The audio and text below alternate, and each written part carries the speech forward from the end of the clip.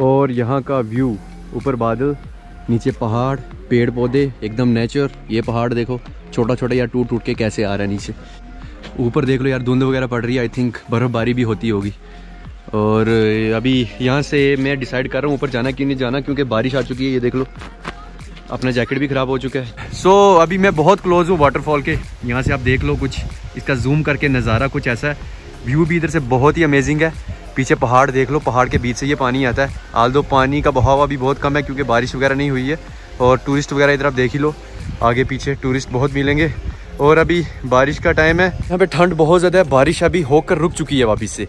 And ये पीछे रहा वाटरफॉल अभी हो सकता है हमें फिफ्टी फिफ्टी परसेंट चांस है कुछ मूड बन रहा है जाने का।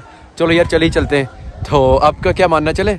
चलो यार निराश नहीं करते चलते हैं लेट्स गो में हमको मिल चुकी है today is a good day to change the world बहुत ही अच्छा लिखा हुआ है। अभी मैं बैठ चुका हूँ कुछ ऐसी लोकेशन है पीछे देख लो पूरा यार पत्थर का बना हुआ और ये देखो इधर पे यार बर्फ़ के ओले आ रहे हैं।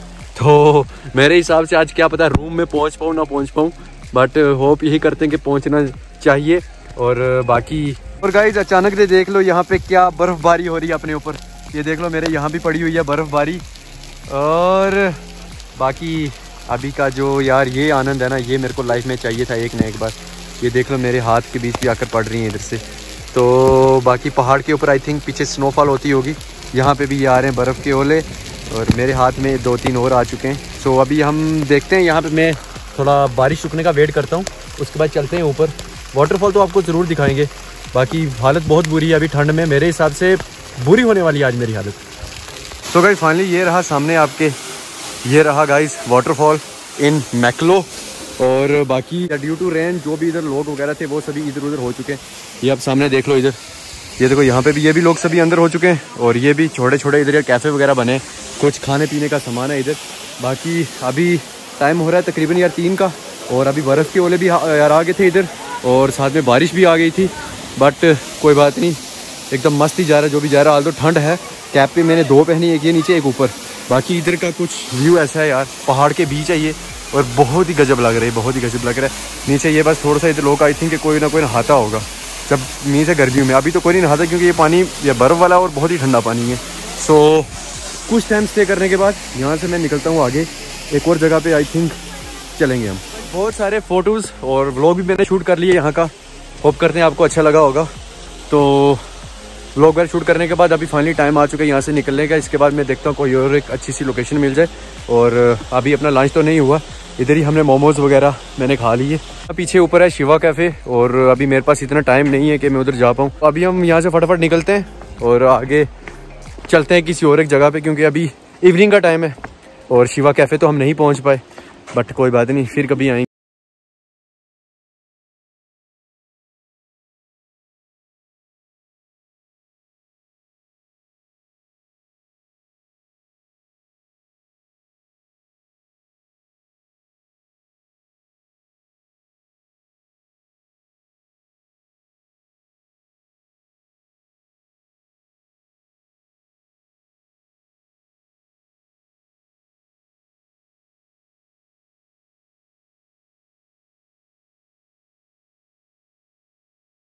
एक ले लिया अपनी बाइक के लिए, ये उसकी यार की के साथ लगाने के लिए, और भी यहाँ पे ये मी से लंबे लंबे बट ये मैंने नहीं लिया।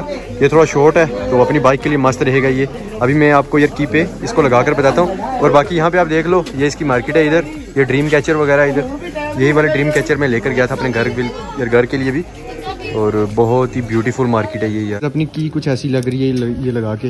एकदम शानदार, जकास। तो अभी हम चलते हैं सीधा बाइक पे मिलते हैं इसको और बाकी यहाँ की मार्केट आप देख ही सकते हैं। Dream catchers a lot of very much good and very good material देख लो आप। तो गाइज़ फाइनली अभी हमारा टाइम आ चुका है यहाँ से निकलने का। आई थिंक तीन, साढ़े तीन बज रहे होंगे और इवनिंग का टाइम ही हो चुका है। बारिश हो गई है, ठंड का एहसास भी हो रहा थोड़ा थोड़ा। और अभी रास्ते में एक और चीज़ मैं आपको दिखाता हूँ, जो कि उस दिन आप लोगों ने भी मिस कर दी और मैंने भी मिस कर दी। होप ये करते कि यहाँ पे मिलने चाहिए। क्या पता होता है कि बारिश हो। तो ना ही मिले हमको बट होप uh, तो रखना चाहिए आप तो चलते हैं अभी। एंड गाइस अपने बैग लग के चलते हमें बहुत चीज़ नहीं मिल पाई क्योंकि या बारिश आ चुकी थी बर्फ़ की हो गई आगे से। उसके चलते एक्चुअली में वो चीज़ क्या थी? योग से। योग उस दिन जब हम गए योग के पास तो मेहर तो एक दोनों से तो तब हमने पूछा कि भाई यार एक फ़ोटो लेने दो। भाई ने बोला हंड्रेड रुपीज़ सिर्फ़ फ़ोटो लेने की हमने बोला भाई साहब मैंने फ़ोटो लेना है इसको पूरा नहीं लेकर जाना तो चलो कोई नहीं यार। फिर कभी दिखाई देगी तो ज़रूर लाएँगे वीडियो में। और अभी यहाँ से हम निकल रहे हैं। तो अभी यार डिस्टेंस तो बहुत दिन अभी ट्रैवल करने। लगभग पठानकोट जाते हुए मुझे दो घंटे लग जाएँगे और अप्रोक्स टाइम हो रहा है चार का छः छः, साढ़े छः, सात तक हम पहुँचेंगे। बट कोई नहीं, आराम आराम से चलेंगे। बारिश हो गई है स्लिप भी है बाइक अपने पास चला। तो अभी यहाँ से निकलते हैं, आगे मिलते हैं आपको सो गाइस फाइनली अभी यहाँ से टाइम आ चुका है निकलने का। और अभी टाइम हो चुका है करीबन करीबन सवा पाँच। और अप्रोक्स मेरे को दो से तीन घंटे लगेंगे यार जाते हुए। लगभग यार दो घंटे लगेंगे क्योंकि अकेला हूँ, आराम आराम से जाएँगे। तो अभी चलते हैं इधर से।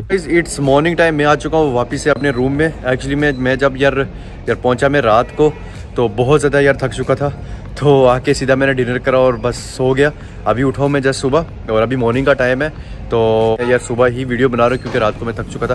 सो अभी हम करते हैं इस व्लॉग को इधर ही एंड तो अभी यहाँ पे तो यार धूप वगैरह लग चुकी है, बहुत ही अच्छी सी, और तो आपने देख लिया उधर पे क्या हाल थे। ये यार बर्फ़ के ओले आ रहे थे मीन्स बहुत ज़्यादा ठंड। और रात को मैं तकरीबन पहुँचा सात बजे लगभग। लेट ही हो गया था बट फिर भी चलो कोई बात नहीं, पहुँच आया। और होप करते हैं कि आपको ब्लॉग अच्छा लगा। व्लॉग अच्छा लगा तो ब्लॉग को लाइक करना चैनल को सब्सक्राइब ज़रूर करके जाना। और हाँ शेयर हो सकता है तो कर रहे कोई कोई ज़ोर ज़बरदस्ती वाली बात नहीं है।